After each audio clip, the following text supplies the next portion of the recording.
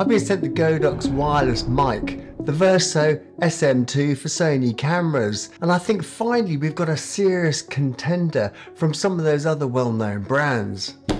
And this is what we have in the box. We've got two transmitters and a receiver, that's the TX and RX, two dead cats, two lav cables to connect to any camera, cables to connect to mobile phones, and cable to connect to your PC. So we're just going to do the range test now. So I've got the mic on the Sony a7R5 and I'm just going to go onto that bridge up over there and see how well we still pick up the audio. So let's get up there and have a listen. I've tried this before. I'm not totally sure of the distance, but we'll work that out in a minute. Well, here we are up on the bridge and our camera's over there on the other side, that small little dot not totally sure of the distance. So I've got a drone with me. Let's pop it in the air, fly it over there, and then we can see what distance it is. Oh, sorry, mate. No, no, it's cool, cool. Take two. so we've just got the DJI Mini 4 Pro here, so let's just send that over.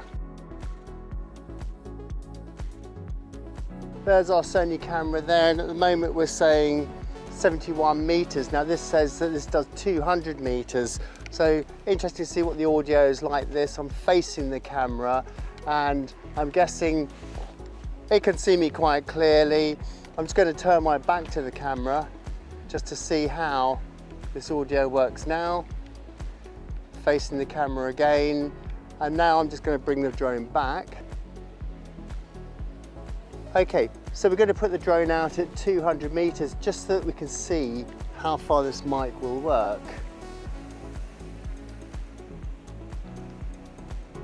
Probably going to have to go up a little bit.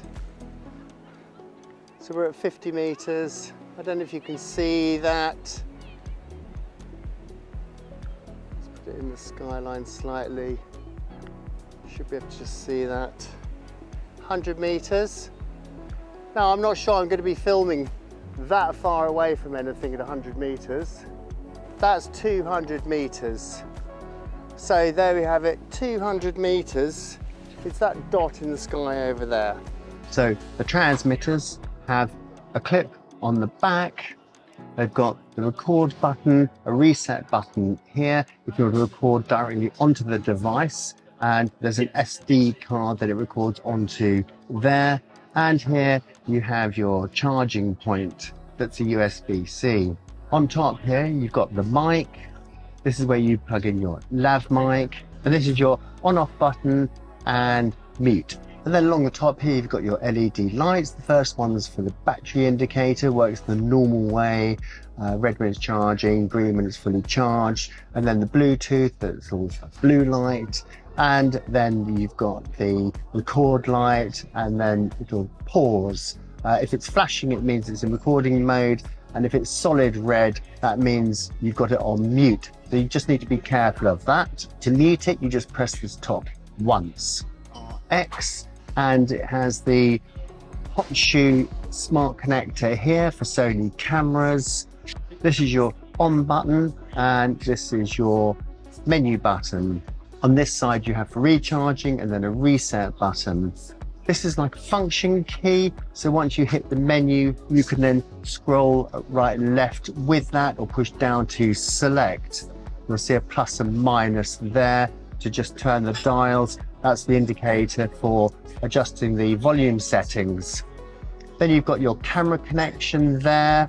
That's just for connecting to the camera, it's not for audio. And then this has a mic here as well. So you're mic'd up at that point there as well. So let's just look at the menu here.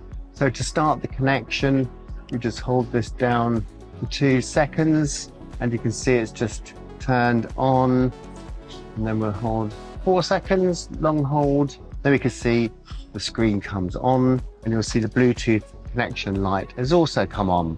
Now this is incredibly easy to work with and the menu is very simple. You just hit the menu button on this side here. You'll see from the screen here, I've only got one of the mics turned on and so that is showing the connection and the volume as we speak. The other one is off. And indeed, if I was to speak loudly into it, you can see it just jumps up to the red. If I press that menu, and then we can make backlight adjustments. So we just press this down once, and then we can turn it up or down, make our selection.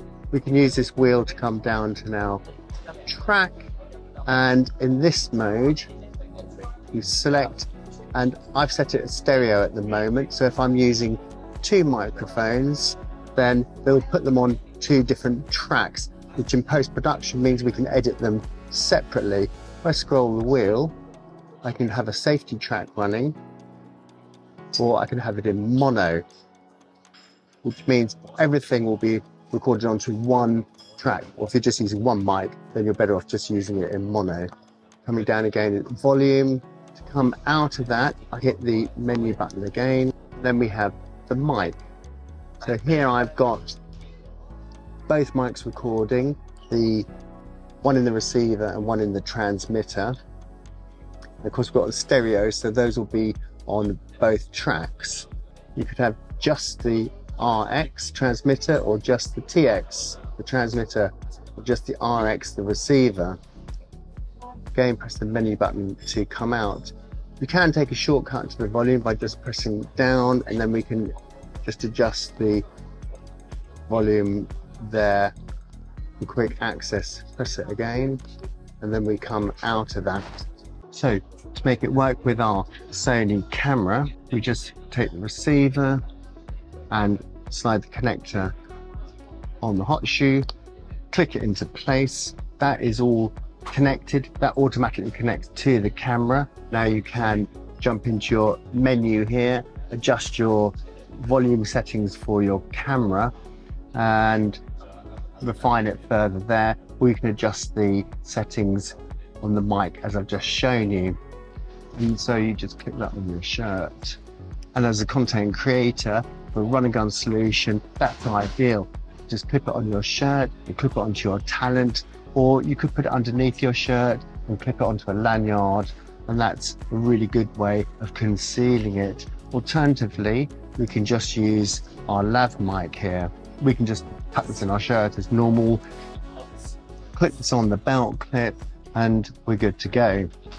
You don't need to worry about the record button because it's recording directly into the camera, but you might want to use this as a backup so if you've got an SD card in here, then you can hit the record button here and record a second version on there. So if you're worried about your signal cutting in and out, or you're moving far from camera, then this is a perfect solution to run a backup in that way. Well, for outdoor shooting, we can use the Dead Cat. It fits really easily. There's a little pin just here that clips into where the lapel mic would go, the lav mic, like that and it just sits on top of the microphone and we can just clip it on like that and then that will cut out any wind noise. To connect this to other cameras all you need to do is go into the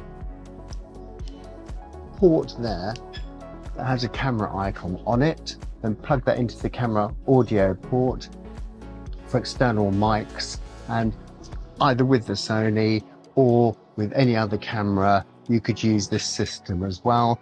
You might want to be using this mounted somewhere else, but still use your Sony camera. And you can of course use that cable. Now, if you want to film onto your mobile phone, use the red cable. Make sure you get the little connectors the right way round. And I, Professor Andrew Jones, sat and talked about if we might win control of the council, we should try and not just do normal things, but to do huge things. So that's our test completed. So let's just get back in the studio and listen to those audio comparisons. Having used these out in the field, I was really impressed. They worked really well. They were really easy to use, really easy to set up and adjust. And I think when you're working at speed, that's really good. So for content creators, you're out filming events and weddings, I think these are ideal. They're really lightweight. I think uh, they're not as tough as some other ones out there, and I think uh, as long as you looked after them, you'll have no problem at all. I think for everyday use, they're absolutely fantastic. So I hope you found that useful and you learned all about these. Got any questions, drop them in the comments below. There's a link to uh, more information about these. And if you want to know about, more about audio equipment, there's a video playlist over here. Show me the love, subscribe to the channel here, and I will see you hopefully over there.